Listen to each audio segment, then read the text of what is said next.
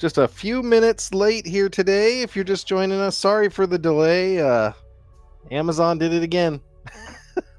Been fighting with the encoder settings. They have a very, very special way that you have to send data to Amazon. Otherwise, they don't take it. And so, uh, sitting here looking at this app and is no happy.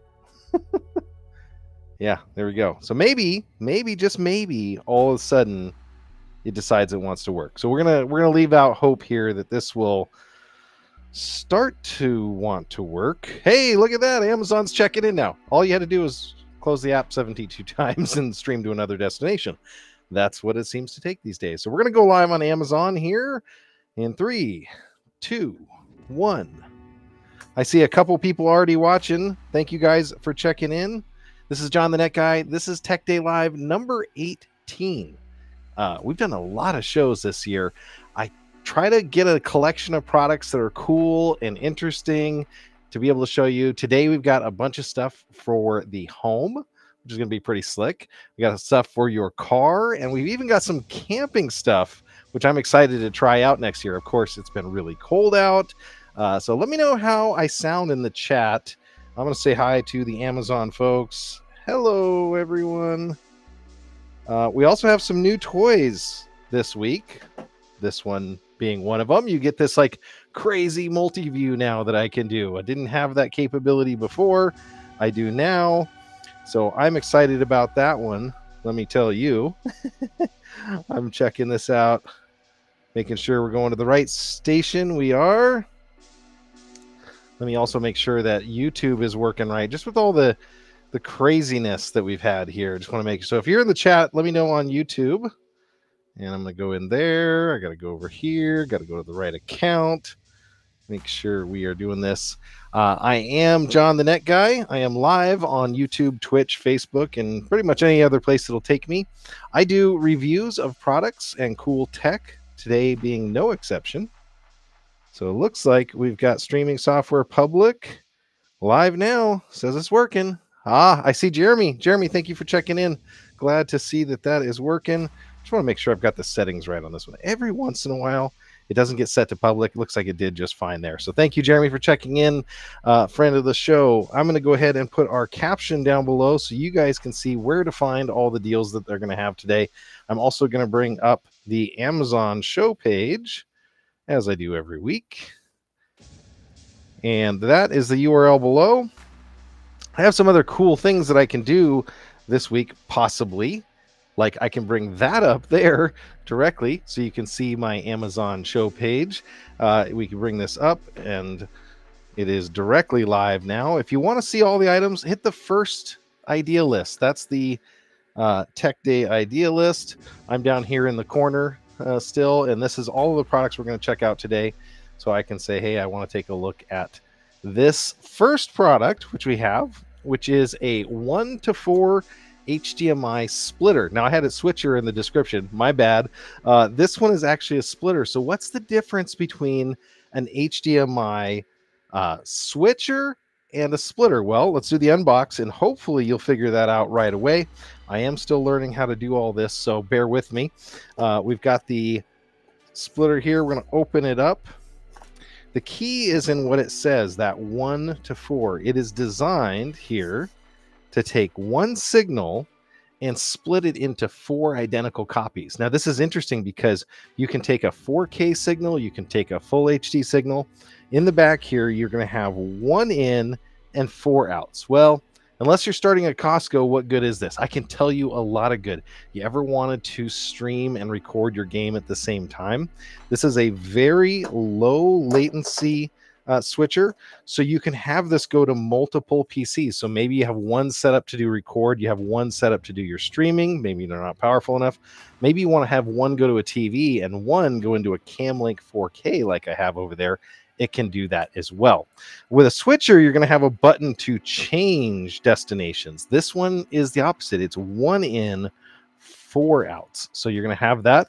Also on this one, you're going to get a included power adapter. It looks like it's five volts. Do not lose this thing because I'm sure five volts is not easy to find short of USB. It's going to use one amp of power. So Again, normally I would hook this up and I could show you on my inputs. I'll tell you one area that I actually really want to use this in is my sign. So my sign back here, believe it or not, it's actually a PowerPoint presentation.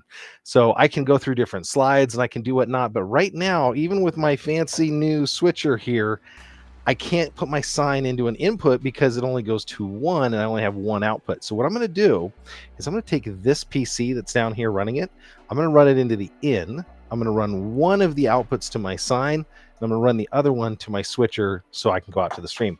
So I can show you guys whatever slide is up there. So that's something that I'm going to be able to use this for. Uh, let me know in the chat what you might use this for. Uh, so it's a, definitely a unique device. Definitely useful if you're looking to run multiple monitors with the identical content. So again, this mirrors the same content onto multiple displays. So maybe you've got a couple uh, games going so, you know, there's a, a, lot of games coming up here in January, February. Give me one second here. I'm just going to pull up the product page because I want to show you just a couple use cases of it here.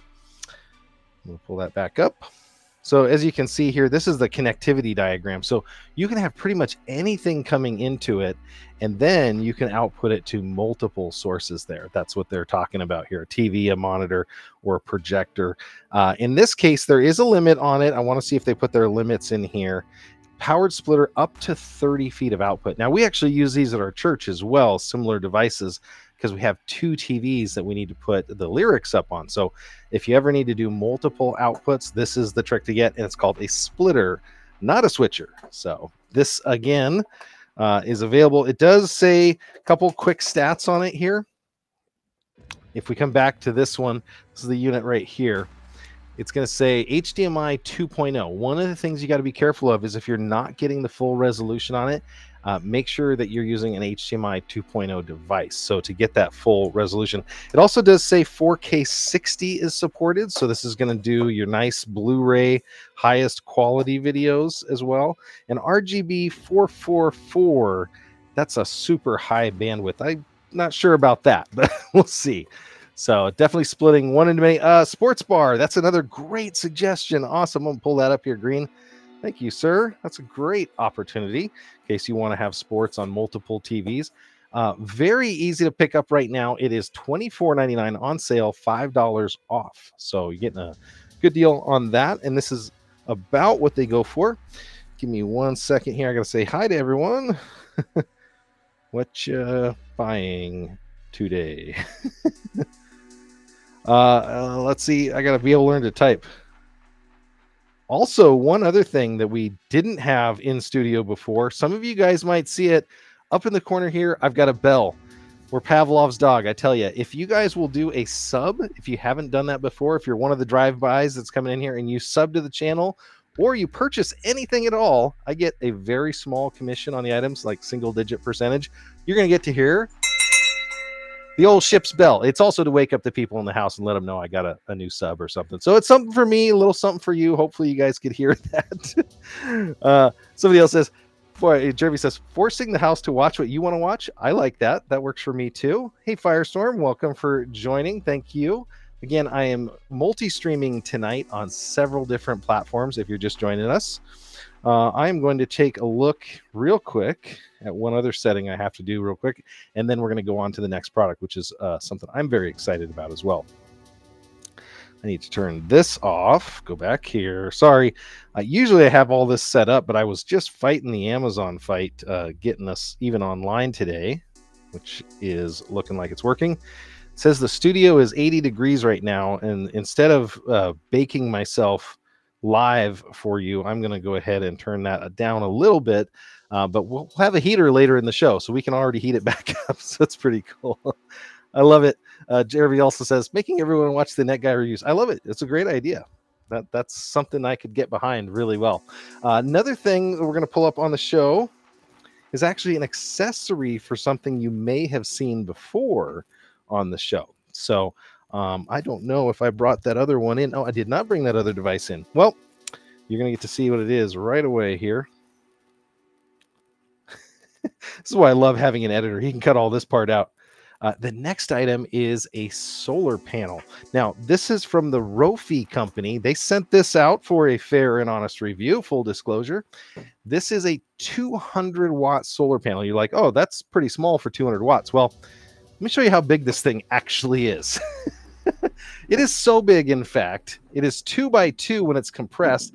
I don't think I can get the whole thing in my set but it has some really cool features that I want to talk about. Well, one on the back, it's got this kickstand, so you can set it out and have it. There's three kickstand legs, so you can do that, and you can set the angle of inclination to the sun. That's the number one thing that's going to help with solar. I switched to solar this year when we're out boat camping, and it has been night and day. And so you take this with a solar generator, with a solar battery bank, basically, and you can refill that battery bank and just be living off grid. This is a 200 watt capacity, but let's talk about what that means. Let me show you real quick inside of here. Now, every one of these, if we pull these up on the top down for you, so every single one of these solar panels, whether you get them from Rophie or Renogy or anybody, is going to have an output, an open circuit voltage, a working voltage, and a maximum amperage and maximum short circuit. So in this case, it's going to be 19.44 volts at 10.8 amps. That's what they're selling you. So that's where you're getting all of the power and the capability of this unit. Um, and that needs to go through a charge controller usually. So pretty slick. This tells you all about it. It's got a, a very easy to use manual. Because I can't show it in studio, I will show you uh, a clip of the unboxing as well, so you can see what you get, uh, as well as me using it outside. But I want to show you something first, which is this cable. This little, I'm going to call it the octopus cable that they're giving you because it's got so many cool legs. This is where it's at. Whether you have a Jackery like this one, uh, an all-like brand like that, or you have the one I showed, the budget one I showed on the other day, which is a 2.5 mil all of these are going to work great for you. So it's got six different model outputs. So it doesn't matter what you buy. Now, if you bought the Jackery unit, uh, which again, uh, Jackery makes a great battery bank, um, or you bought the all like unit, which I showed, doesn't matter. Or if you bought the Jackery uh, version of this, I showed a 60 watt prior. The Jackery can only work with the Jackery products because it has that one connector. This is going to give you an MC4 native, so you can go into your RV let me see if I can get these apart now. There we go. So you can't screw these up. They're keyed. They only go in one way. Uh, you could plug this unit directly into your RV that is solar ready, and they usually have charge controllers and everything all set, uh, just with the MC4 connectors or one of six different alternatives. So really slick product here. I'm going to go ahead and pull up the footage so you guys can see that. Let's get that rolling. And we're going to start first with the unboxing of it. And I'm going to get that going for you. Here we go. Yes, so that really good looking guy over there uh, is John the Net Guy. And there's the box that it comes in. It actually comes in a box. It's about twice this size. But uh, for the purpose of demonstration, I took it out of the outer box. Inside, it's going to have some uh, protective packaging, but it doesn't need a lot because this thing's designed to protect itself.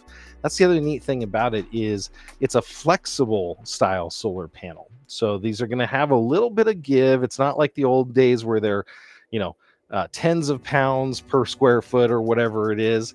You can see how big that thing was. and then inside here, I just show you the unbox real quick of that octopus cable and then I'll show you a little bit more about it. But I'm actually going to take you guys over right now just in the interest of time. I'm going to take you guys over and we're going to look at how to use it outside. So we got sun today. It's only taken, I'm up in the Seattle area. It's only taken, oh, about a month uh, to get sun. They sent this thing out and I said, I, I really want to put you on the show, but I need a sunny day. That's how low the sun was on the horizon at like 3 p.m. today. So I went out in the front, and that is the patch of sun that I had, and a nice little mole hole for uh, anybody that's interested. For the Washington Seattle moles. so uh, Green's asking, do I need a nice big battery bank to go with it? You know, sizing of this, you're going to get about five to six usable hours of solar a day. There's a little bit of loss in charging. There's a little bit of loss depending on the inclination of this. This is what I love about this, by the way.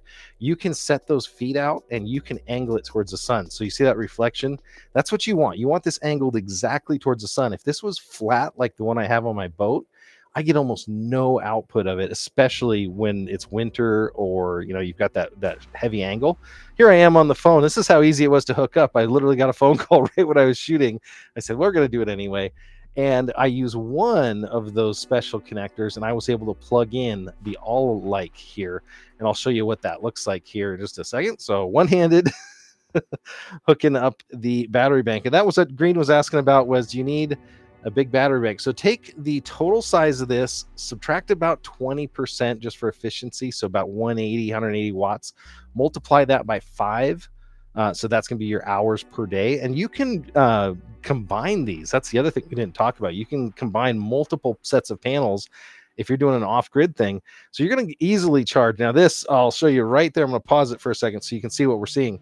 Now, I was only putting 14 watts in because I'm almost completely charged on this thing. I was running a drill, I was doing everything I could to discharge my battery bank. But this is right at the end of the charge cycle on it. So, you know, even with this very low horizon sun, I was getting like 25 with this on the ground but it'll go all the way up to the you know 180 range is pretty normal. So this would be good for an 800 to 1000 watts per day of uh, actual charging ability. So that's how you would size or choose to size your charger uh, and your solar panel. So good question. Thanks uh, on that one, Green. Um, next item up. So that was from Rophie. They've got battery banks and other cool products. Uh, I'm going to be looking forward to checking out more of their products that they have. This one is actually on sale right now. This is from Water First. This is something that I, I had to sell my wife on a little bit, but it is something we're using right now in our kitchen. I set it up and we're testing it out. And this is a very special unit. It is a reverse osmosis water filter and instant hot water unit. So this makes instant hot water. It filters with UV light. It's going to filter with a mechanical filter, and it's going to do it all almost completely silently, which is great. So very nice to have this. Let me see if I have the right connections here. I want to see if I've got the right ones to plug this thing in. I will actually show you the unbox and everything about how it works let's take a look and see what we see on the front here. Okay, so it's saying 65 degrees here. So 65 is uh, the temperature of the water that's inside it. Now, what's unique about this one is if you're going to have a cabin, maybe somewhere, maybe by a lake, maybe something that doesn't have the cleanest, best tasting water, you can actually use this to filter any water that you've got that's available and make it safe to drink and make it healthy uh, we do coffee and tea a ton. We do top ramen. My kids love that. So I want to show you something real neat. So you can just put this under here. Literally, it's asleep right now. And I can just hit this button. And now it's supposed to start pouring out water if I do this. there we go. I want to do there. So it starts making water. You can hear that trickle. Hopefully you can see that. Let me bring the side camera over here for you guys. There we go. see if I can do this right. Okay, so there it is. One touch to start the flow, one touch to stop.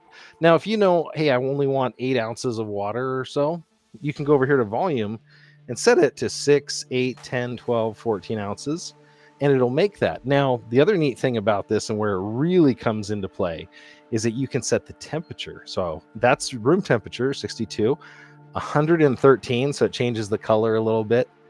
185. This is great for your green teas. And 203 degrees. Now, I have to make sure I'm plugged into the right circuit because this thing is a full 1600 watts, it says. Uh, if you think about it, when you have one of those instant hot water tanks for your house, it's using you know kilowatts of power, tens of kilowatts uh, or more. Now the indicator up here, if I go up to the top down, the indicator's already turned to this red color, so you know it's going to dispense hot water. So be careful.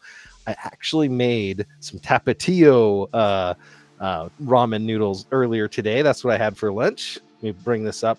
So I'm just going to do a very small pour on this one. I'm going to do six ounces of really hot water. We're going to go up here and set the temp to 203. I'm going to bring you guys back over to the side and we'll take a look at how this thing works. There we go. I'm going to tap it once. Now, hopefully, my extension cord and I don't blow a circuit here because in my office I have a ton of stuff. So there it is. There is the water. Let's go ahead and do one more load of that. Now, the first tiny two seconds of this can actually be a little under temp or over temperature if you do regular water afterward. There we go. And what's funny is that water, you can see the steam coming off of it. It is hot. so you you could definitely do this for tea. There is a little bit of splatter. That's one thing that I don't necessarily like. I wish this was more of an adjustable base here. Um, it's going to go ahead and auto stop at six ounces. This thing carries a full five liters of water inside of it. So it's running right now, putting out that uh, six ounces coming up. Hopefully, I did that right it should auto stop. There it goes. So it auto stops at that six ounces. So there we go. That is definitely hot water. Now you can use this for ramen noodles. You can use this for teas. You can use it for soups. The one thing that we're interested in using it for is our coffee maker because our coffee maker is not filtered but this thing creates that very very clean reverse osmosis i'll show you a video here in a second of what they are able to do with it in their amazon listing and i was just blown away but i want to show you one other trick that it has so setting it up is not too hard it does have this removable water jug here so this water jug can be filled so you can set that up. It does have a wastewater tank because it'll automatically cycle your water if it's been sitting too long. So it'll run for the first time, it'll run a UV light in there and it'll kill any bacteria for an hour. Then it runs every five uh, five minutes per hour to kill any remaining, which is amazing.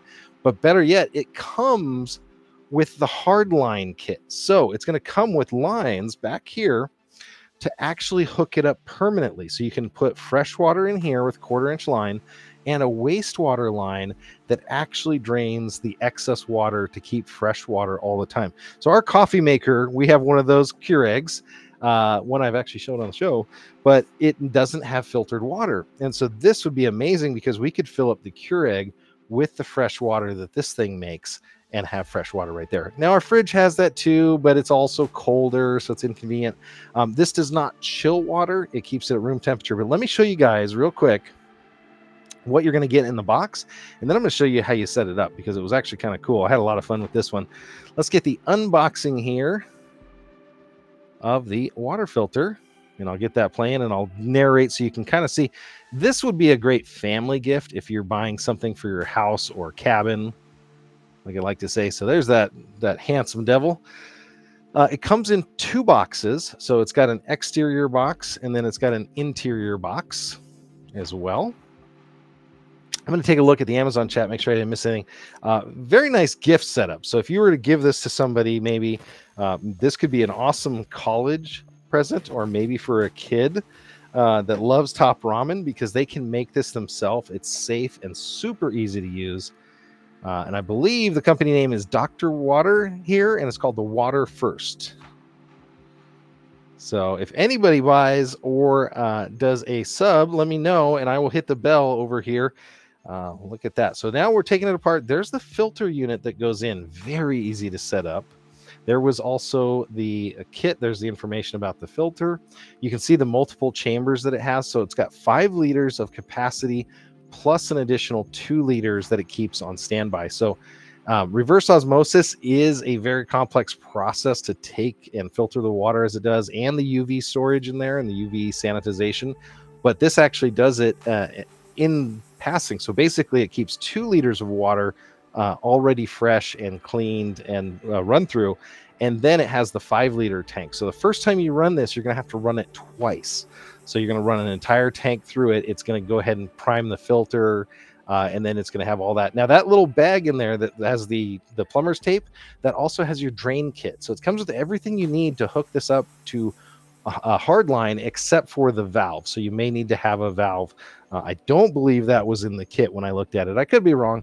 I didn't check that that part, so I want to double check on that. But uh, you can see that's the unit. Let me show you real quick the video of actually making some fun stuff with it. So uh, did set it up upstairs, and I want to see if I've got that one. Uh, I have to mute this because my wife had some colorful commentary. That was our coffee station, and you can see we have a kettle there that we use all the time. And so this is going to replace that kettle. So I bring it in here, I get everything out of the way. My wife was really worried about the space available in our kitchen. But you know, this thing, while it looks big, it takes a very thin uh, frontal area of cabinetry. So it's not that thick. It's about the, the width of a sheet of paper. It does fit under our standard height cabinets, which I liked our fridge being right there, this is actually going to be really cool because I already have water run to the fridge line and I can tee off of that line and go right through that little tiny wall there and go right to it. And then the drain can go down the same path. So I'll be able to have it automatically drain.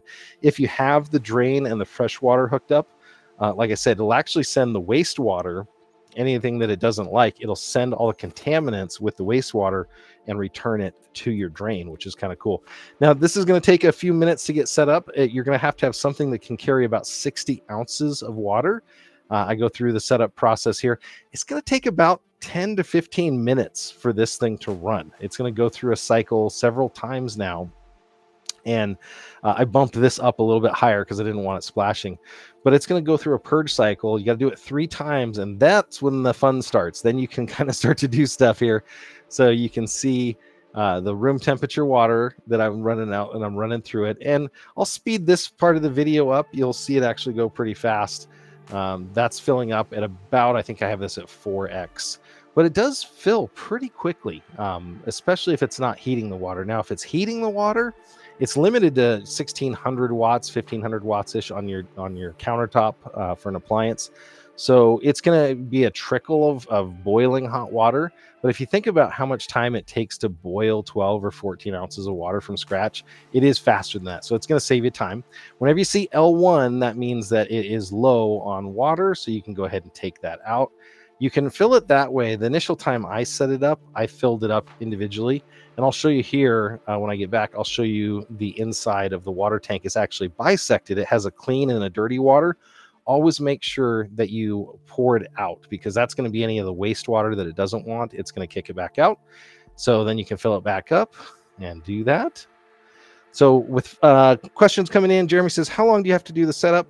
Uh, takes it about, ooh, how often do you have to do the setup? Oh, just one time. Sorry.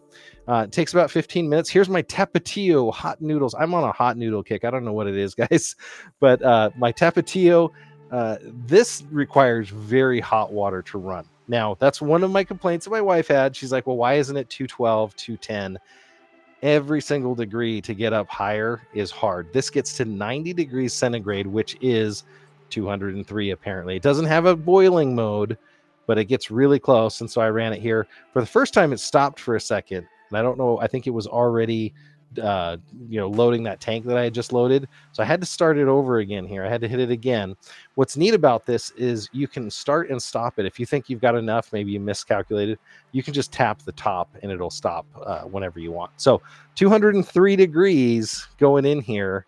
Uh, and it actually worked out pretty good. Now, I did, I'll tell you honestly, I did microwave it for like 30 seconds just to give it a little bit extra to get, get it over that hump.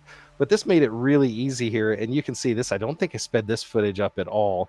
You can see it uh, floating in there. And then I'm going to show you mixing it up. So awesome. Uh, and Jeremy says, yeah, definitely good for coffee. And for a French press coffee guy, yeah, absolutely, Jeremy. If you do French press, this is a great idea. So there we go. That was my noodles. I also said, hey, let's make the wife some tea. Now she did peppermint, which does require boiling water, but a lot of the the ginger teas and stuff that I like, you're only supposed to go to 180. So actually, the 183 degree setting would be perfect for that. As you can see, hot, steamy, boiling water out of it instantaneously. So that was uh, very cool. I do have a couple photos now that I think about it. I'm to add them to our list here. I'm going to send the photos that I just took so that we can see them on the show and you'll see kind of the the counter space like I was talking about because I do think that that's important. Here, let me share them real quick. Share to a shared album and I'm going to send it to the Tech Day 18 album and we're going to go get to see those first pictures from my Tech Day 18 album photos.google.com sharing one second i'm just pulling it up here so that i can show all this to you we got another product coming up and i don't want to don't want to sneak it away here, but I'm going to go ahead and share this tab so you guys can see it. And I got to do the right button. I'm telling you, I take a day off and there we go. So that is the counter space. Uh, if I take a look at an angle, what it looks like now is I can put this water boiler right up against the side. And as soon as I get the water hardlined into it, I won't have any more access problems. I don't have to go in there and take it apart or do anything. It'll be hardlined, won't have any problem. It'll have uh, both filtered reverse osmosis and UV filtered water, as well as hot boiling water on demand. And there you go. You can see, like I said, it's very skinny. When you actually put it up next to a coffee maker, it's as skinny as my coffee maker. Um, and it's, it honestly is as skinny as the handle and everything for a water boiling kettle. Uh, but this is very popular in Europe. A lot of people like uh, the way that this works, and especially if you're a tea junkie like myself. Now, I promised you I'd show you one really cool thing that it does. And let me get back to that product so I can show you that. I'm bringing it over here. So let's go to their video. I don't normally like to show video from the vendors, or I like to show you my stuff. But this thing is so cool. If I can find it, this they have a full length video and shows you all the features of it want to find if this is the one. there it is. Okay, you got to see this. This lady is going to pour cola into the tank, not water. This is Coca-Cola, and it's so it's so powerful. This thing is going to be able to filter it down to fresh water. So, you talk about distillation and all the other stuff. This thing can actually take Coca-Cola or some sort of cola and turn it into fresh water. This is from Dr. Water. This is their water first unit. So hopefully you guys enjoyed that little demonstration. want to thank them for sending this out for a fair and honest review. I'm looking forward to trying it for a long-term test, and I'll uh, let you guys know how it works. Now, there was a question, it looks like in the chat. Another question, how often do you have to change the filter? That's a good question on this. I didn't look at that. Let's go take a look at the product page and see if it gives us a uh, some data on that. It does actually have. Let's see. Filter, plumber free installation. It doesn't say it on their stuff directly, but it does have a filter status indicator for filter life. So if you don't use it very often, you won't have to change the filter very often. If you use it a lot, you may have to change the filter more often. And it does have an indicator when that filter is ready to go and you can reset it. I'm trying to clean this up over here. There's no real way to leave cords that don't look unsightly. there we go. Awesome. Great questions. Okay, we're coming back over here. And I'm going to pull the next item up on the show. And this is another kitchen item. I can tell you, I had an amazing summer. We've been out fishing, we've been camping, we had a great 4th of July. And this is a very old food saver. This is my old and trusty food saver. I'm not trying to sell you a food saver here tonight, but what I am going to show you is one accessory that every food saver owner needs, and that is bags. Because when you open your food saver and you're ready to use it, and you run into this, you're like, oh, what am I going to do with that little piece? That's all that was in here.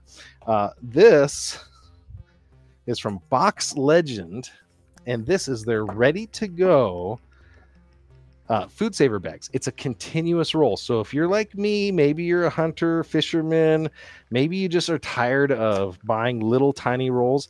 This is one of the most efficient ways to buy bags. So let me get you on the top down here so you can see what is inside of it. We open it up, and this is a continuous roll bag, and you can get it to any length that you want, and then just simply cut it across. So now I've got the start of a bag and I'm going to go ahead and take and bring it over to my food saver here. There's 150 feet by 11 inches. Now they make multiple different sizes. So I'm going to go ahead and hit seal on that. Um, this is again a very old beat up food saver. I've used this for countless times making uh, packed smoked salmon, uh, jerky, and a whole bunch of other stuff. And so now that is sealed. So that bag is sealed on that end. Now, what I would recommend, if you're one of those people that that has kids like myself that goes through a lot of snacks and other stuff, you can make your very own snack bags. I'm going to show you guys how to do this. This is pretty cool.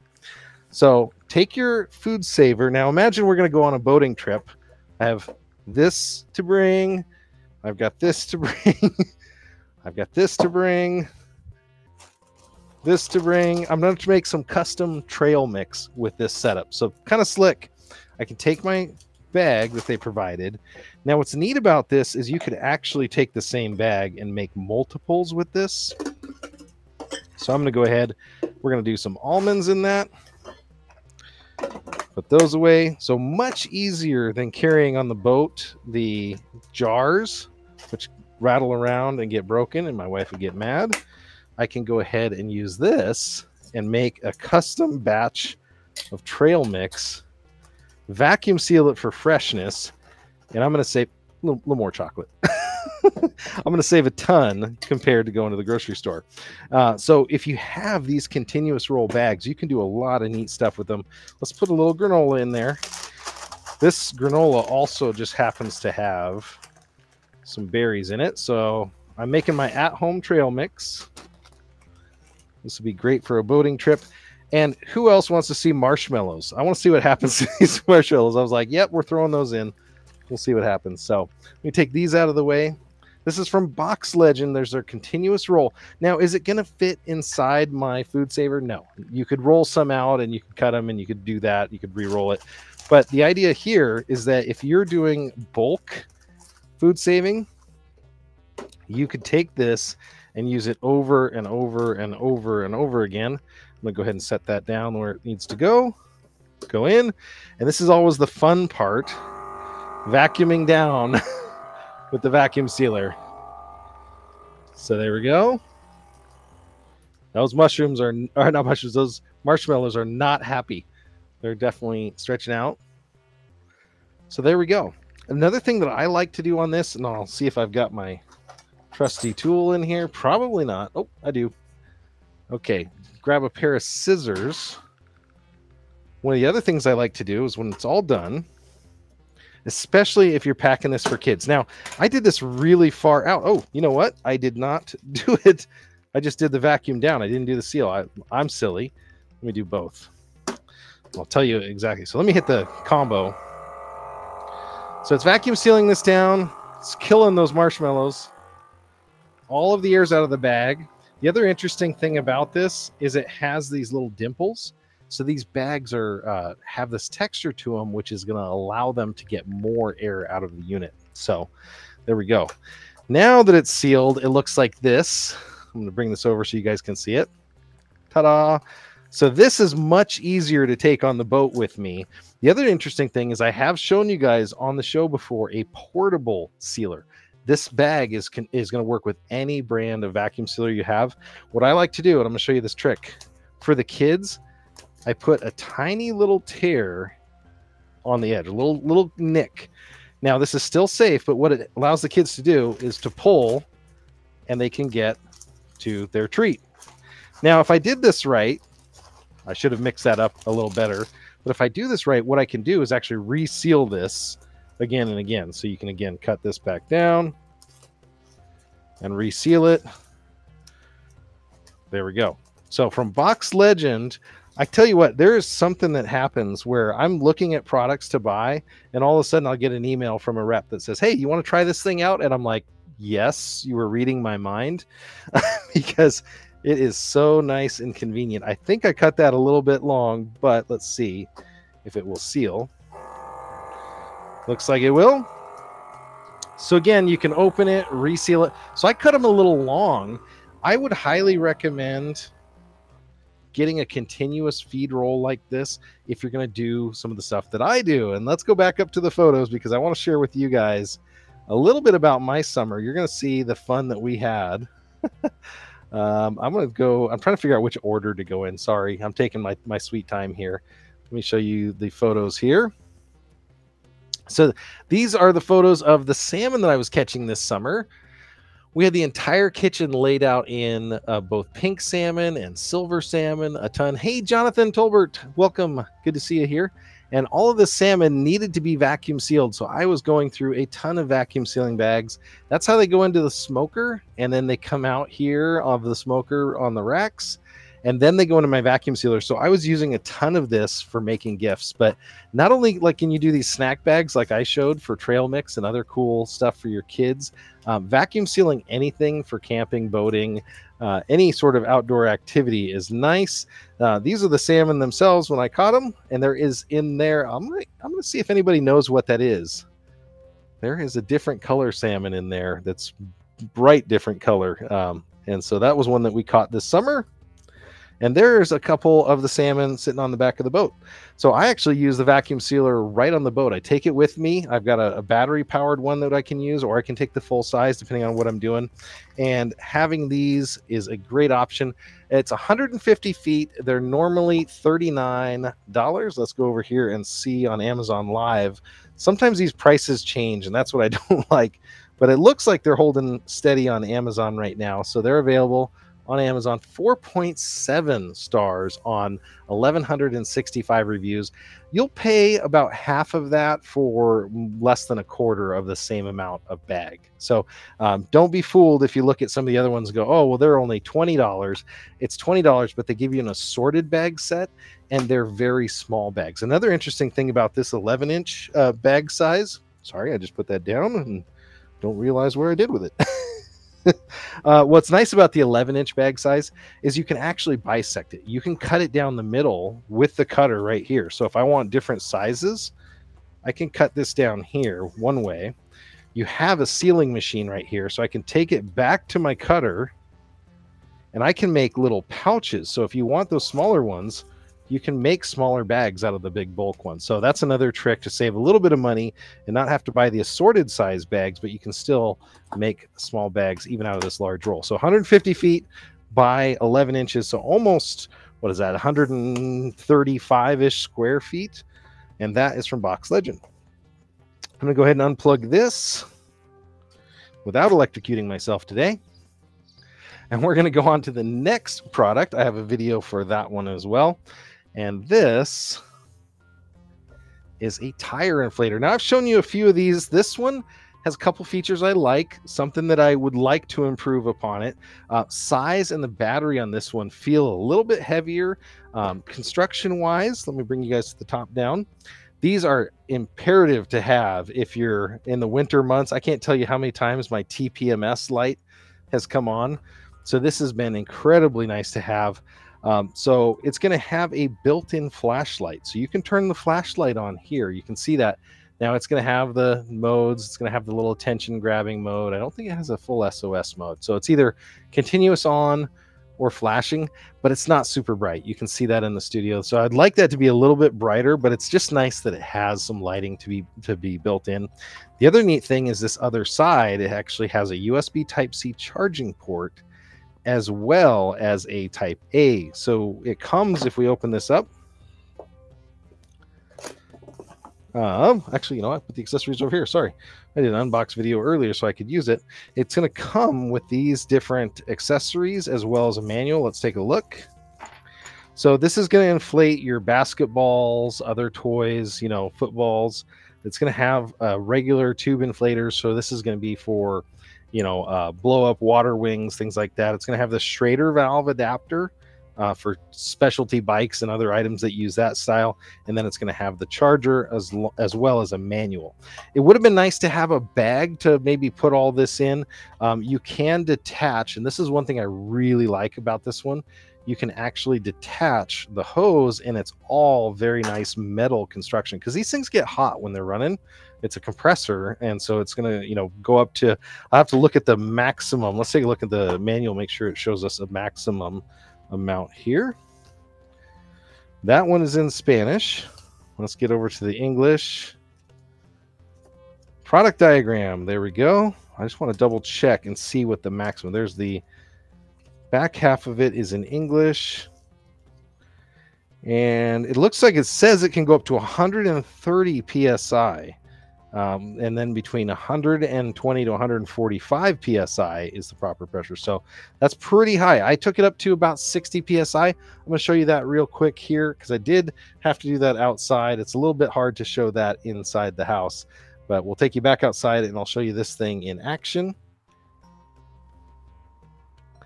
So this again is my boat outside. We just brought it home from the mechanic after forever.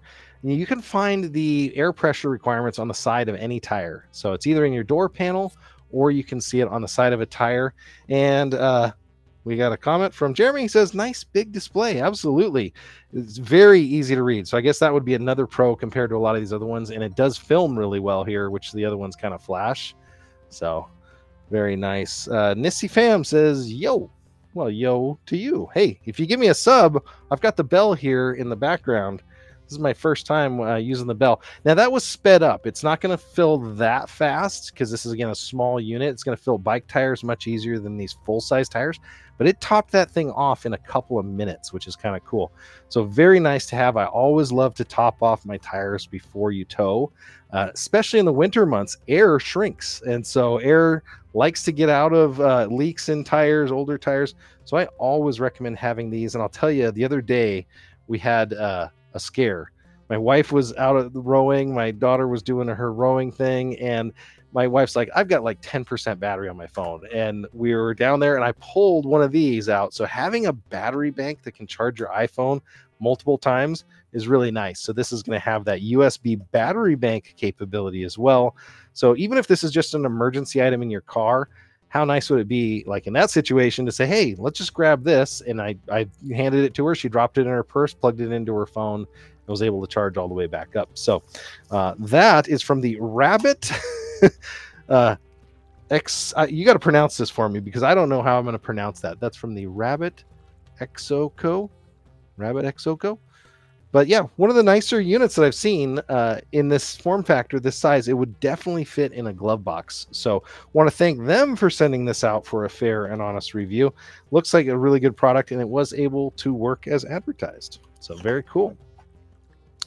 Uh, next one is a larger product. I'm going to have to bring out the big guns here. You guys have seen this before. this is our test station because we have a large product coming out, and this is a floodlight. So I've got a smart floodlight. It's from the Aosu company.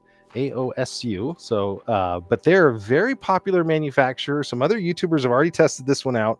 I did not look at their videos carefully. I didn't want to taint my review and my thoughts on it, but I did see some pretty interesting things. Now, I'm not going to necessarily plug this in that I think about it because we don't have this. Normally, I use this rig to show you how to do wiring we're going to go ahead and hook this floodlight up and test it out for the very first time. And then I'm going to transfer it outside and you guys are going to be able to see it outside. But I'm going to go ahead and roll with you the unboxing of it so that we can take a look at it. So here we go. This is the Aosu floodlight unbox. Another handsome guy there taking a look at this floodlight. I'll bring it out while he is and we'll talk through it. So this one does not need battery power. That's another really nice advantage of it is it's going to be powered. So it has some neat features. It is one of the only ones I've ever seen that can install both horizontally and on a vertical mount ceiling. That's a neat feature I've never seen before on one of these devices. I've seen other ones from Wyze and um, Anwiki and a few others that I've put out. Uh, Blink even makes a wired floodlight now but this is the first one I've seen that you can actually mount to a ceiling outlet. So if you have like a carport with a ceiling, you could definitely install it in one of those. We're going to install it here today. And I'll show you that once we get the unbox here. And what's interesting about this one is just the style of it. If you take a look at it, it has two lights, 2600 lumens. It has two separate Wi Fi antennas and it's 270 degrees of active motion detection. So it's going to have motion sensors on all sides here, uh, other than the backside. So that's where it gets the 270 degrees. It is also a pan tilt. So it has a higher resolution. It says 3K. So it's higher resolution than Wyze or the other guys, and but it is movable, so you can actually move it in the direction. So that's a difference in in your purchasing. You know, the Wyze one is 180 fixed field of view, so you're going to get less resolution in one direction. This one has no subscription fees. That's another benefit, and you can put a micro SD in it as well. So um, I'm excited to install this thing. We're going to get back into the studio here and I'm going to get installing and we're going to test it out and see how well it works. So I've got my version unboxed. I'm going to go ahead and see what we have here, and I'm going to walk you through the steps to install this. And hopefully, yep, I still have my connectors up there that I'm going to need. Bring you guys on the top down for just a second so you can kind of see what I'm working with here. So if you're not comfortable with electricity, don't do this job. Call an electrician. They'll be more than happy to come out and install this for you. This is a dead simple installation these days. So uh, as smart products go, they've gotten really, really good. Um, this borrows some stuff from other ones that we've seen, which is a single hole in the center, which is nice. We're going to take a look and judge the instructions. So there's the table of contents, the overview of it. There's the all the stuff that you get depending on what you need. Looks like it even has a USB charging adapter so you can play with this thing before you set it up. So that's kind of cool. So it's got a USB cable here to use indoors if you want to set that up indoors. And it's got some additional screws as well. So we're going to have some of those depending on the size of the, the, mounting that you need. It's got a cap for the center screw. Once you're all done with this, you can cap that off so it doesn't rust. And then it looks like required but not included is a power adapter if you want to plug it in and preset it up and then a drill as well. So, you know, I'm thinking it would probably be best for us to pre-set up the floodlight here. So let's go ahead and do that. It does have max support for 128 gigabytes. Um, and it does a FAT32, it says, with a at least a class 10 read and write speed, which is almost every one of them nowadays. And then on this side is where you download the app for it. So setting it up, it's recommending, even though this thing's right here and I could probably do it directly, it is recommending that we go ahead and plug it in. Just double checking what I have here for a USB charger. So you will need a USB charger. It does come with the cable. I'm gonna go ahead and take the uh, Hey, Arctic Wolf, thank you for checking by. awesome, good to see you. And uh, Chuck, uh, home missed the first part. Great stuff. Yes, Chuck, this is a, a, cool product. This might be fun down where you're at. Let's see here. I'm to turn the captions off so you guys can see me because I'm down in the corner doing this work.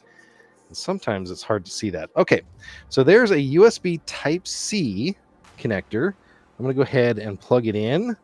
And then you go ahead and take this thing. We're going to flip it over and the reset module and everything are down below. And this is where I can plug in the unit. So I'm going to go ahead and plug the unit in here and just kind of bypass it. Now it says that we need to use our phone. Now you're going to have to forgive me because again, this is a brand new switching setup I have here. So I can do some pretty amazing things, um, but I need to figure out which input I happen to have the iPhone on. So I can show you the iPhone as well here. I'm going to go ahead and use the camera on my phone. And I'm going to search for this in the App Store. It's looking like it did it. Unfortunately, on Amazon, I'm not allowed to show uh, barcodes, so I cannot pull that up right now. Let's see if it can read the barcode here. Oh, this one's having a little problem reading the barcode. This is my really old iPhone, so I'm going to take it back here. I'm going to search for Aosu, and hopefully it finds it. There we go. Uh, it looks like that's the right app. It's under utilities. Got three stars. Okay, let's see if I got the right input over here. Here we go. Touch ID to install. I'll be down here on the side while we install this, and hopefully this is the right app. It looks like the right logo. Now, did I get the green light? I do have a green light here. That's one of the things that they're recommending is that you have a green light on this one um, if it's plugged in. So then we know it's powered up. Go to the next step. I do have to sign up for an account. Now, uh, the manual is going to have lots of information over here. So I'm going to take you guys over back on the side. It's going to tell you about where to install this. So that's another interesting thing. So when you're installing a floodlight, it can actually be installed too high because this one uses a passive infrared motion sensor.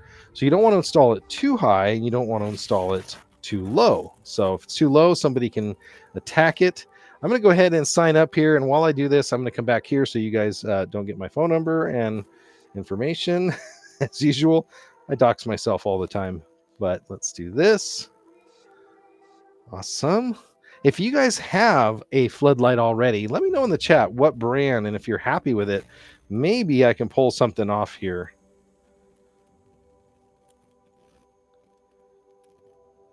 Uh-huh. I would prefer that most of these go to a uh, Google style security or other ones. That would be really preferable um, so that you don't have to remember separate passwords and usernames. This one is a little bit backwards in that it's asked for a password and then it wants an email address. So we're going to double check that. We're going through the full setup. If you're just tuning in, this is John the Net Guy. This is from AOSU.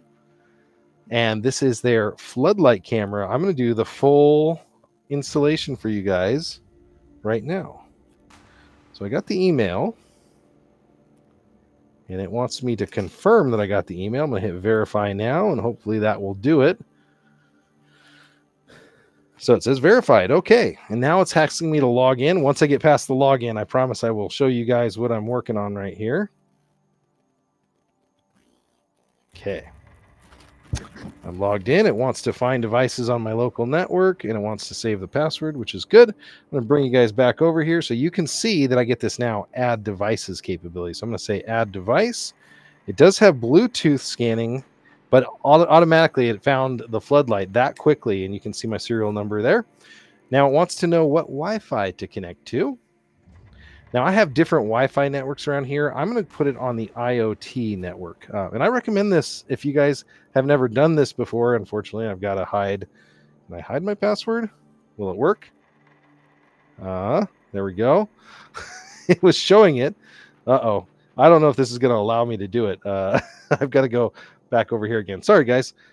Some of these things, I usually set them up a day before, but I wanted to show you the app experience and get you my first impressions on this one.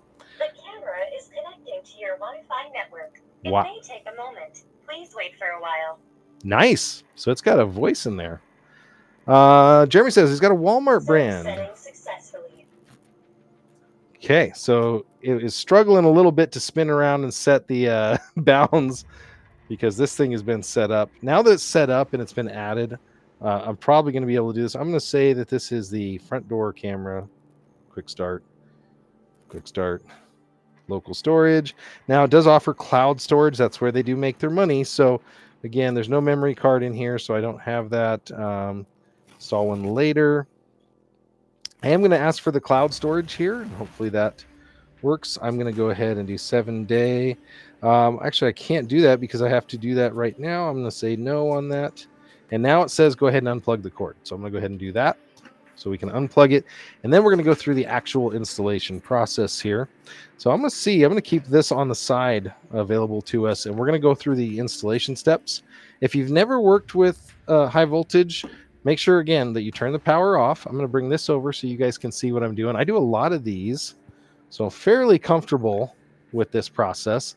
And the process is pretty consistent on most of these products. I'm just trying to get it here so where you guys can see it and then you'll be able to see me and I'll be able to talk you through the process here. So uh, again, you have a white, you have a black, and you have a copper or green. Yours might be green. Make sure that your switch is off as well as the circuit breaker.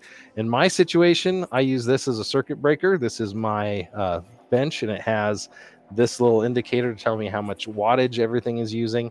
So I use that as my indicator that the circuit is off. So I would recommend to do that. There's also non-contact voltage detectors, which I have shown you guys previously in the past. So um, next step that it's saying here is to find a position to install it.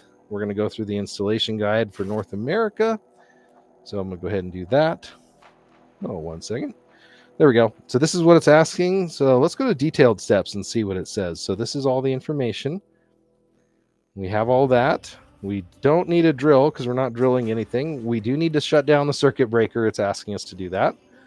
We'll go through, install the mounting plate. So it looks like the divot on the mounting plate faces downward. Okay.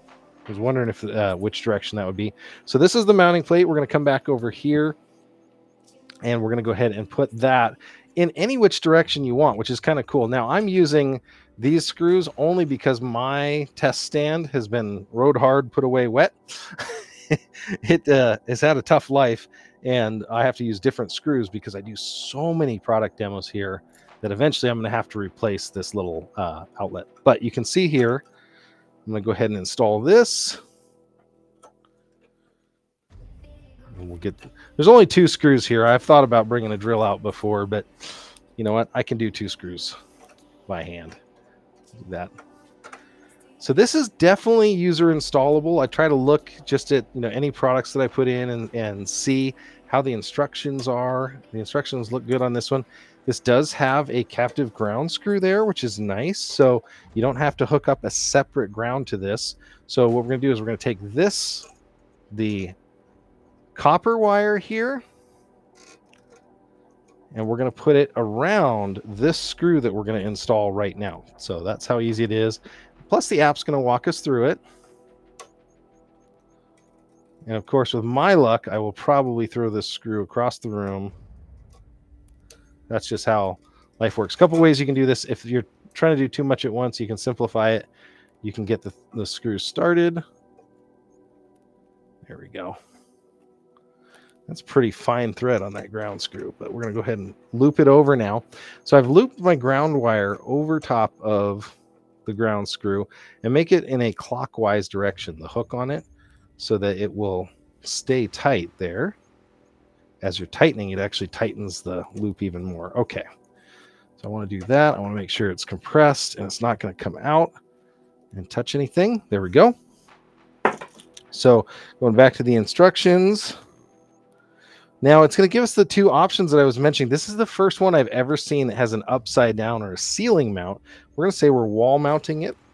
So uh, thread the tail of the wires through the camera base. Now, if I went and said the other way, it's going to have you thread them a little bit differently here. So go through the middle of the mounting base. For the wall mount, it looks like it's through the three holes in the mounting base. So let's go ahead and take this out so you guys can see this. Now, these holes on mine don't appear to be milled perfectly. Let me show you that.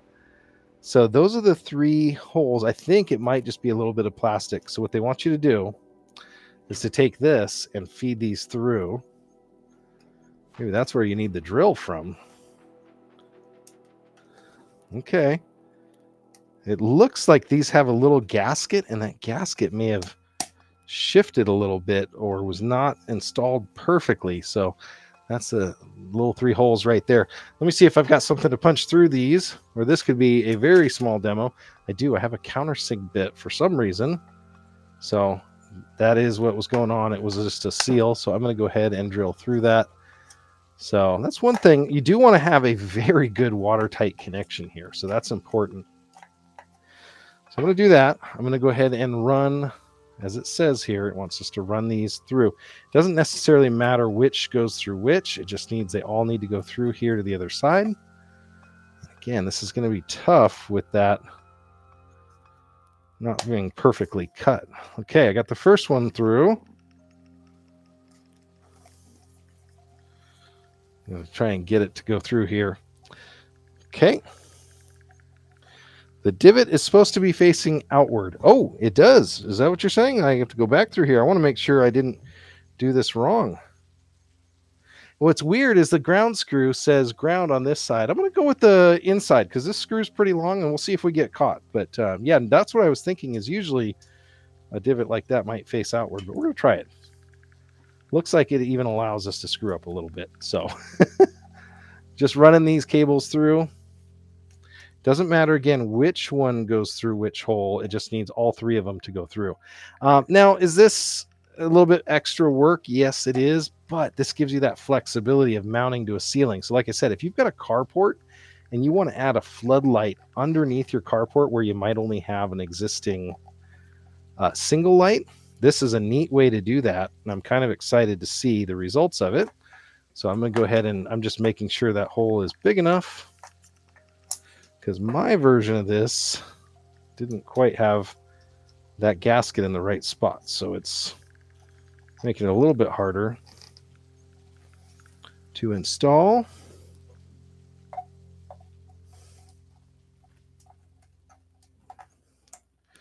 No biggie, I can do that.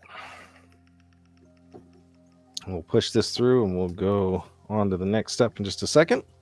There we go almost done with this part. And wiring, you know, it can be scary for people, but you know what? Again, it's not that difficult in the end. So this is the unit right here.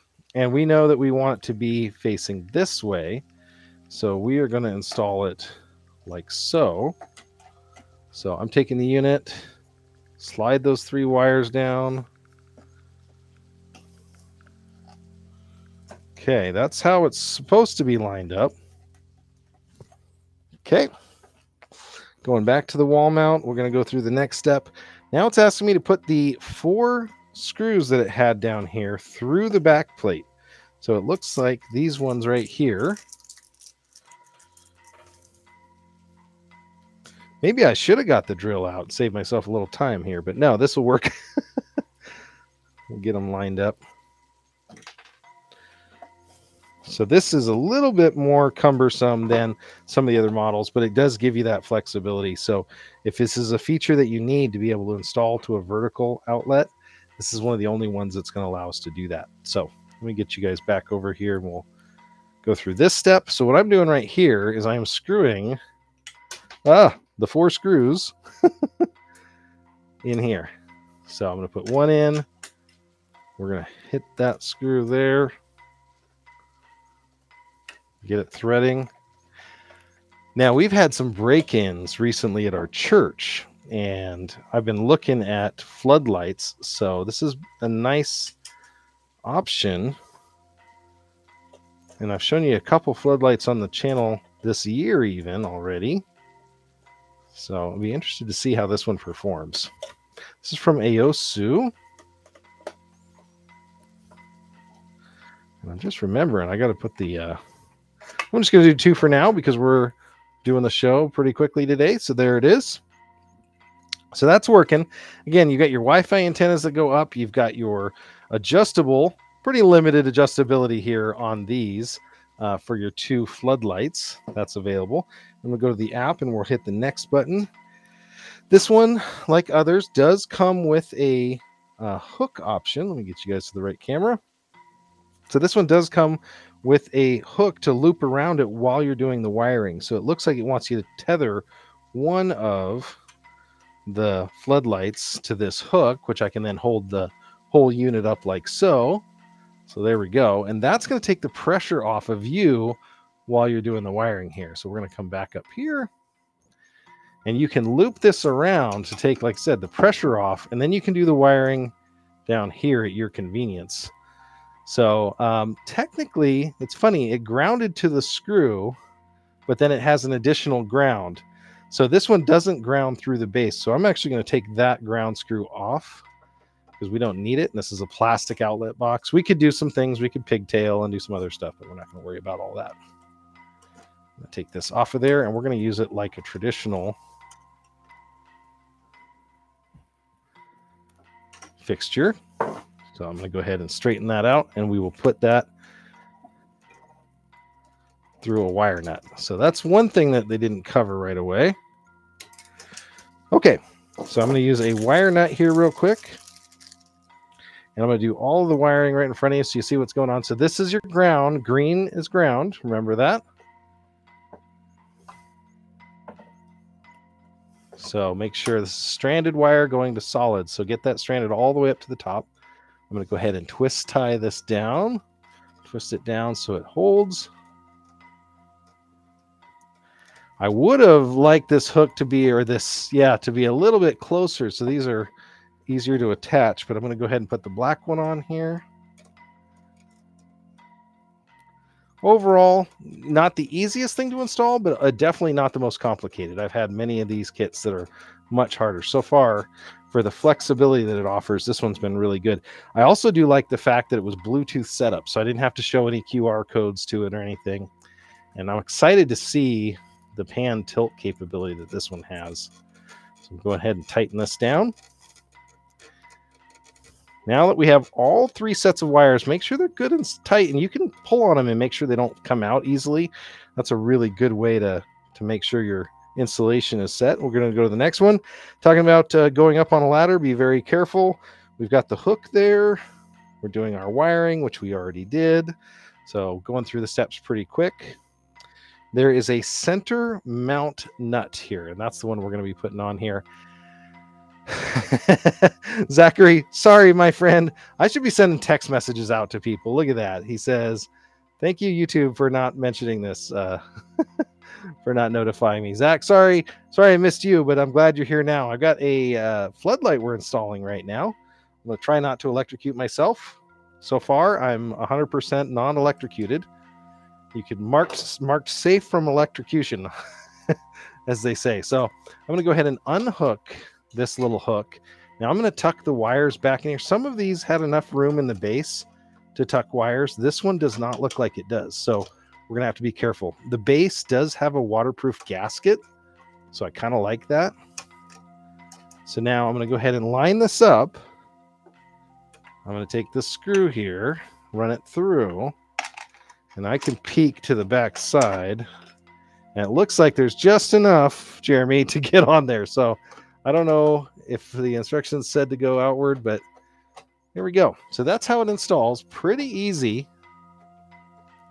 Let's say, you know, 8 out of 10 for ease. There's a couple, there's a 10 out of 10 in the market, but we'll see what the feature set on this one is. Good deal. Okay. No subscription fees unless you want the cloud recording. Now, you could take this if you want to finish this off and you could stick it there. That's what they recommend. It is adhesive, though. So I'm going to put it back and I'm going to save that. Um, so that would have a cover on it normally. I'm going to bring this back and sideways so that I can do the next thing.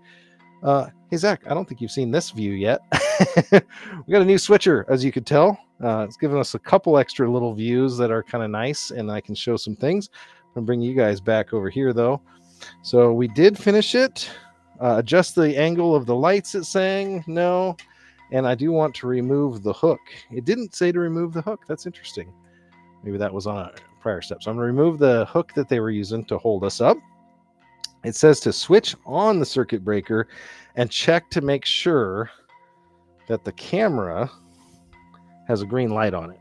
So I'm going to go ahead and plug this thing in. I am going to remove the cover just so we don't have any issues there or I forget.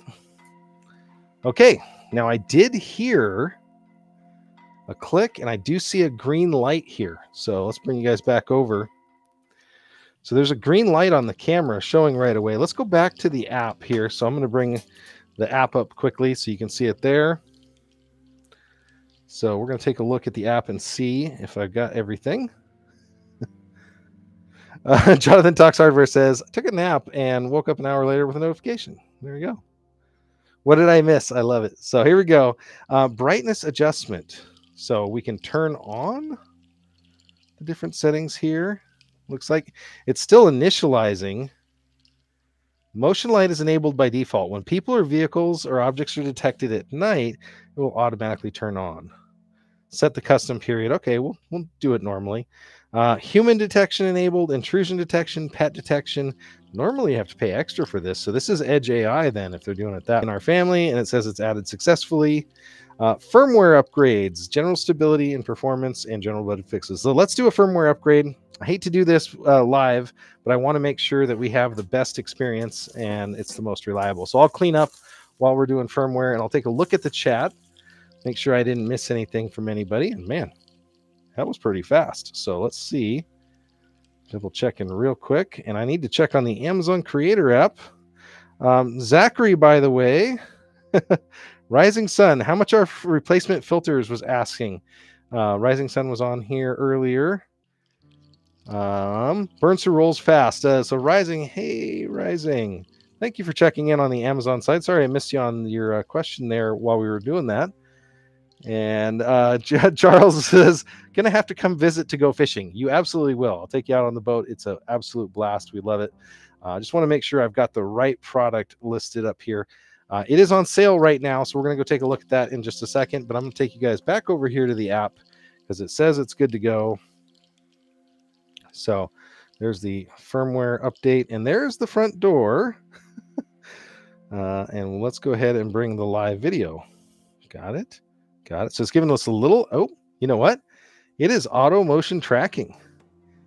Now the camera is fairly tight on its uh, just looking at that. So this is meant to be installed high. So it's going to be a little bit difficult to demo inside the studio. We can turn the light on. Are you guys ready for that? That's always the one that's fun. So let's turn the light on. Yeah, it's bright. oh, Aosu. This is their uh, floodlights. They are definitely bright. It does have a 3K camera on it, it's saying. So it's definitely a bright camera. You can see the unit there. I'm going to try to bring this a little closer. Um, and so you can see the actual unit spinning around. So when I use the pan tilt, you can see that it's spinning around all the way to behind. Now it's coming back this way, and you can see the lens of the camera there moving around.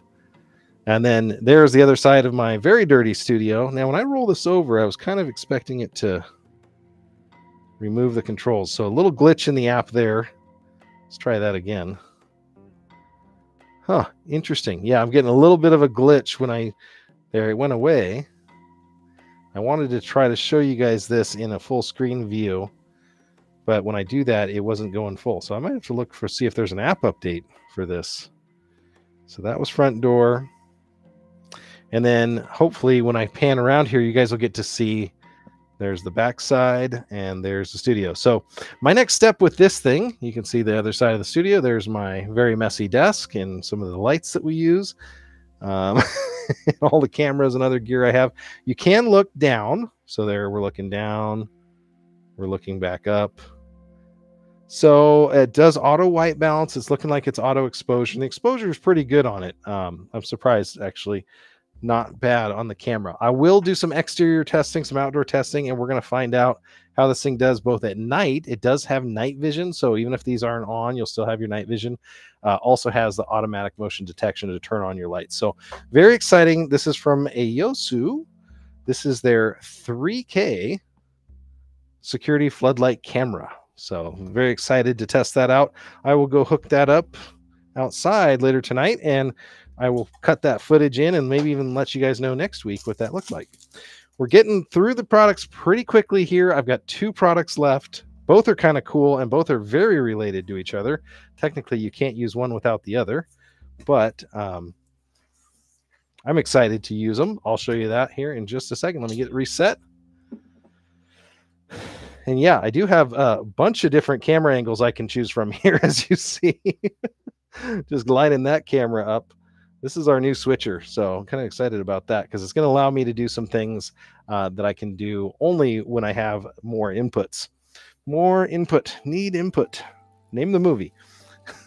okay, there we go. Okay, the last product here is already installed and ready to go. And that is a little buddy heater. So I use this little buddy heater on the boat I may upgrade to a diesel heater, but one of the neat things about the little buddy heater that we have here is it uses these replaceable propane tanks. So if any of you guys have this one, let me know. Um, so this is the portable buddy from Mr. Heater. There's different sizes and different models of it. This is the most popular by far. Um, you can use this in an enclosed area like a tent. You can use it in a house. The only thing they say is not to use uh, the full size cylinders with it if you're going to use it indoors because the full size cylinders can leak and have different connections. This one will not. Um, if you look at it, the way it has a ceramic element and the way that it burns, it doesn't leave carbon monoxide out. So that's good. It also has a safety in here. So if the uh, flame goes out for wind or whatever reason, it's not going to just be releasing gas into your room, which is really cool. So this is the Mr. Buddy heater, but you can see this one has something interesting on top here. Uh, to show you what that is, I'm going to have to start it up. So I've got the air conditioner running in here. We're going to have a fight to the finish here for the air conditioner. Let's see if I can get this going for you. So to turn the Mr. Buddy on, you literally turn it to the pilot mode. You push down and it's going to light. Let me go, I can go closer. Here we go. So as I push this down, it's going to light that little light. And you see how it goes out? If I let go, now it's staying on. That's because that's heating that little thermocouple. And that little thermocouple is letting it know that it's safe. So once you get into that mode, you can rotate this all the way to on. And now you can see that it's starting to flame up. And so that's going to instantly put out heat, which is nice, but I'll show you the trick on this one is these two little accessories on top. There are two very small DC motors Let me pull this plastic out of here before it melts. And it has some sort of contraption in between that is pretty slick. So this little buddy, these are, or sorry, I keep calling it little buddy, the Mr. Buddy heater. This puts out a good amount of heat, but it all generally just goes straight up. So it's if you're in an enclosed area, it's going to go up. It's not really going to move that heat around. So this is an upgrade for this. And take a look at that. I didn't touch a thing. Those electric motors are now spinning on their own, and they're going to spin fast. So this thing is literally taking the extra energy from the heat that would be radiated up, turning it into an electrical impulse and running those electric motors. And that is blowing the heat forward. Now, I don't have my uh, thermal camera hooked up to this, but I will definitely dub in and splice in in the final review video so you can see. But you can absolutely feel the heat radiating off the or ripping and you can feel it sucking air from behind. So it's actually pushing that hot air around my studio and fighting my air conditioner to the finish. So very cool little uh, device. Now a couple things just warnings if you've got little kids probably not a great idea because it does have these two blades up here um, that could be dangerous now I'm going to go ahead and turn it off, and I want, to, I want you to see something. There is literally no batteries in this unit nothing extra to carry, um, and it is entirely powered by the heat inside the unit. So the heat that's rising is creating an electrical signal, and there just happens to be enough somehow to run these these uh, motors, which the science is beyond me and i'm i'm a pretty science guy so i want to figure this out but it's the first time i've ever seen anything like it and it's drawing air even with this off it needs about 120 degrees this is the little buddy version that's, or sorry, the Mr. Buddy version that's mounted here. You can see them right there in the light, how they're still going. Um, but this will also work on a wood stove. So if you actually have a wood stove, one of the biggest problems with them is they make a lot of heat, but again, they radiate it straight up. This will give you that free airflow, just taking that extra heat and turning it into uh, uh, airflow, which is awesome. So I was excited about this one. Let's go take a look at Amazon because I want to show you guys their Amazon page on this one, uh, and you guys can tell me what you think of it. There we go. So this is it right here. This is the wood stove fan. Sorry, it's in the wrong corner. This will work for a wood stove, the Mr. Buddy heater. It does come with a couple uh, accessories. One, it has this temperature setter uh, sender right here on the front. So that's magnetic. That'll go to any sort of wood stove that you have or anything, which is kind of nice. Um, let's go over here and take a look. So if you do have a traditional wood stove, this will absolutely work with this. The price on this one, it's $8 off or was $8 off yesterday. Oh, it's back to $39.99 live, but that's okay. So that's how it works. So if you've got a cabin, if you've got a little, uh, you know, portable stove you use for hunting, I have no idea how this can do it. It's so awesome. Again, I'm very excited about it. It is completely quiet. I would say silent. It doesn't make any noise. Uh, it is easy to install. So uh, overheat protection. I love that. So it looks like it's got a little anode there uh, that somehow handles the overheat. this is great. Um, so again, 4.6 ratings. This is from X Times. 4.6 on 210 ratings come back over here, take a look at it. Yeah, it's still going just off of the radiant heat. There are no batteries with this unit and just the extra heat. Now it will come to a stop eventually, which is pretty slick. Uh, but talk about conversion of energy and efficiency. It's just converting that into flow, which is pretty slick.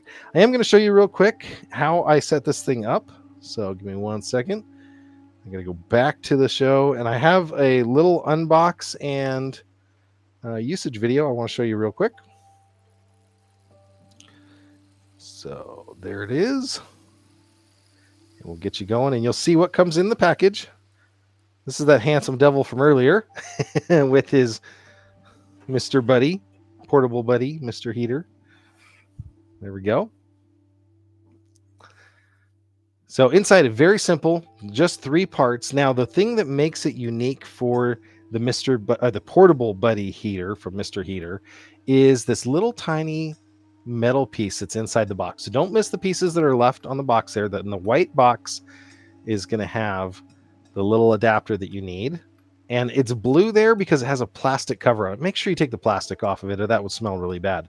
So I played around with this for a little bit, just learning how it connected up. I was taking a look at the instructions because this was the first time that I did this. Now it's still going over here. You can hopefully see it. Now that's where it connects on the heater itself. It's just a little spring loaded connector. And what that's doing is it's actually, you can see it here, it's causing some pressure so that this doesn't fall out. Now, is it going to be perfectly still? Is it never going to vibrate or anything? No. I would take this off, honestly, for transport and, and protect it more than I would the heater. The, the heater's pretty durable. But yeah, again, very easy to use. And what's funny is I didn't know how long this would take. So I started this up uh, a little earlier today and then I fired it up. And you're going to see the shock when I see this thing start moving because the scientist in me is going, what the heck is going on here? uh, whatever uh, magic this is, it's turning the temperature heat into electrical energy. It's pretty slick. And there it goes. It starts automatically going, you know, a pretty, pretty style in there. And that is the demonstration. Like I said, it, it does put quite a bit of air out uh, and it comes with an accessory. It does have the temperature gauge, so you can now see what your wood stove is at.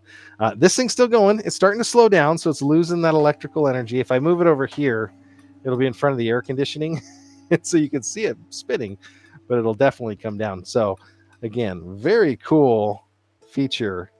This is from X Times. That's the guys that sent it out. They sent it out for a fair and honest review.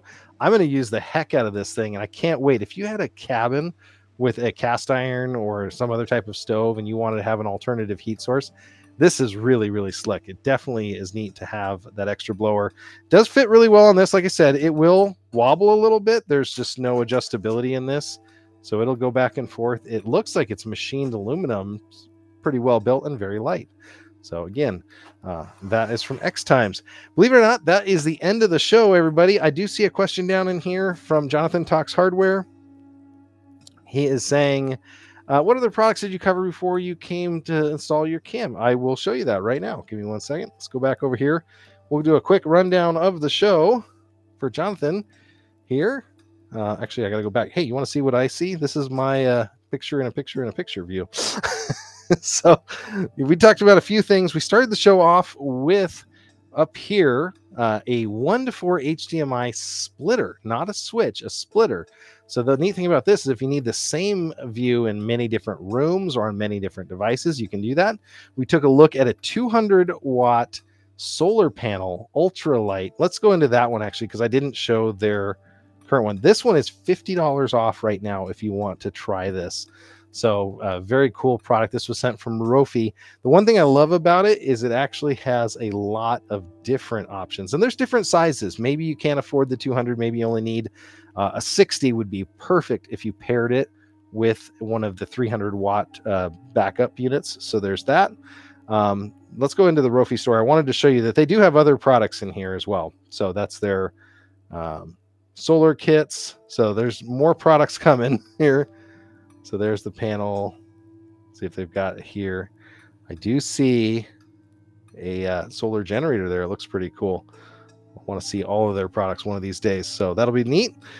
And let's go back here. Uh, we also talked about a water filter as well as an instant water boiler. We took a look at the box legend of the vacuum sealer variety there. So you can get a vacuum sealer bags, a continuous roll if you're doing commercial projects or anything else.